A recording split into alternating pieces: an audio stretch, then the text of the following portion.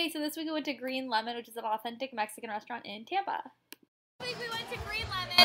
Um, I got the Americano taco and a, what did I get? A margarita. Um,